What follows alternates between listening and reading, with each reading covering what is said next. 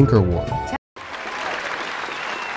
rimwe mu mashuri akwiye gukomerwa aya mashyi ni iryitwa international technical school of kigali its aba bigisha ubukerarugendo imicungire n'imikorere y'amahoteli ndetse n'ikoranabuhanga rya mudasobwa.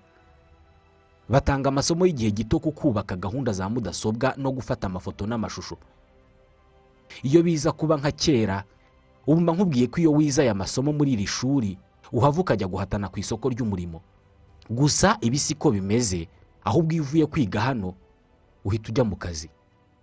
Iyo biza kuba nka kera mba nkubwiye ko numara kwiga hano muri aya masomo uzabona akazi aho ariho hose mu rwanda. Ariko si byo uzabona akazi aho ariho hose ku isi kubera ko iri ni ishuri mpuzamahanga ritanga amasomo ari ku rwego mpuzamahanga. Aba ntabwo baguha urupapuro ngo ujye gushaka aho bakumenyereza umwuga ahubwo bagufata akaboko bakakujyana mu kigo kimenyereza imyuga. Cyangwa se kiguha ibyitwa sitaje kandi bagakurikirana uko ubikora. Kumenya ukuri kw'ibi byose navugaga biragusaba kujya aho iri shuri rikorera. Mu murenge wa ndera i gasogi. Ku muhanda kk nimero ya gatatu. Batangiye kwandika abashaka kwiga muri iri shuri. Niba ushaka ubumenyi buzakubeshaho wowe n'abawe hitamo aho buri byonyine ubundi ugenda ubufata hari abacuruzi bafite ibicuruzwa na serivisi nziza ariko bafite ikibazo cy'uko abantu benshi batazi ubucuruzi bwabo. Hari icyo wakora ibihumbi n'ibihumbi by'abanyarwanda bakarara bamenya ibikorwa byawe. Muri red blue jd bakwereka uko ubigenza ubucuruzi bwawe bukamenyekana kandi n'abakiriya bakarushaho kukwegera no kukwizera. Bafotora ibikorwa byawe bagasobanura ubuziranenge bwabyo bakanabimurikira abakiriya. Bafotora abageni bakanababikira videwo z'ubukwe bwabo kuri YouTube ku buryo nta kibazo cyo kongera kubura amashusho cyabaho. Abaririmbyi babakorera amashusho y'indirimbo zijyanye n'igihe bakanabafasha kumenyekanisha ibihangano byabo.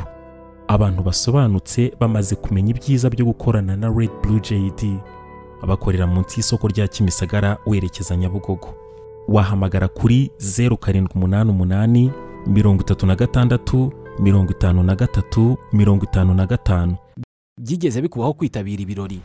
Inama cyangwa se ibindi bikorwa bikaba uhari ukabikurikirana kuva bitangiye kugera bisoje. Ariko nyuma y'ukwezi kumwe ugatangira kwibagirwa bimwe mu bice by'uko uwo muhango wagenze kandi wari uhari. Niba urimo kureba aya mashusho ni uko udashobora kwihanganira kureba amashusho no kumva amagambo atari meza. Turi miliyari zirindwi z'abantu kuri iyi si. Abarenga miliyari enye muri twe dukoresha interineti buri wese muri twe arihariye. Ateye ukwe afite ibyo akunda ku giti cye adahuje n'undi uwo ari we wese. None niba dutandukanye kubera iki twagira ubwoko bumwe bw'ibirori? Kubera iki inkuru zacu abantu bazibara kimwe? Ntabwo bikiri ibanga ko uwo ari we wese ko uyu munsi red blue jd ari kompanyi ifata amashusho ikanayatunganya igakoramo inkuru cyangwa se ibyegeranyo bidashobora guhaza ijisho cyangwa se ugutwi k'uwo ari we wese inshuro imwe. Red blue jd ni inkuru yo kubara. Ariko cyane cyane ni inkuru ivuga uburyo abantu bafata amafoto meza y'ubukwe n'ibindi birori. Inkuru y'uburyo babika amashusho y'ibirori n'ibindi bikorwa kuri interineti ubwo ukaba ubonye uburenganzira bwo gutunga amashusho yawe ubuzima bwose. Nta muntu nzi wakoze ibirori inama n'ibindi bikorwa ngo areke gushimishwa no kongera kugira bya byishimo cyangwa se kwiyumva nk'uko yiyumvaga cya gihe. Ibi bikaba atagombye gusubiramo bya birori ahubwo akabikesha amashusho n'amafoto yafashwe mu buryo bwiza. Umuntu wese uvuze ibirori bishingiye ku muryango no ku mibanire aba avuze ubukwe. Uvuze ubukwe bwagenze neza aba avuze amashusho n'amafoto yabwo yafashwe neza. Uvuze amashusho n'amafoto yafashwe neza mu bukwe mu nama no mu bindi birori aba avuze red blue jd red blue jd ni indi nyito bakoresha iyo bashaka kuvuga filime mbarankuru zikozwe mu mashusho meza n'ubutumwa butava mu mutwe w'uwabwumvise hari ikibazo kimwe kirebana n'iyi ngingo. Ibi byose mwabikoraga mute red blue jd itaraza. Bakorera munsi y'isoko rya Kimisagara werekeza Nyabugogo. Wahamagara kuri zeru karindwi umunani umunani mirongo itatu na gatandatu mirongo itanu na gatatu mirongo itanu na gatanu.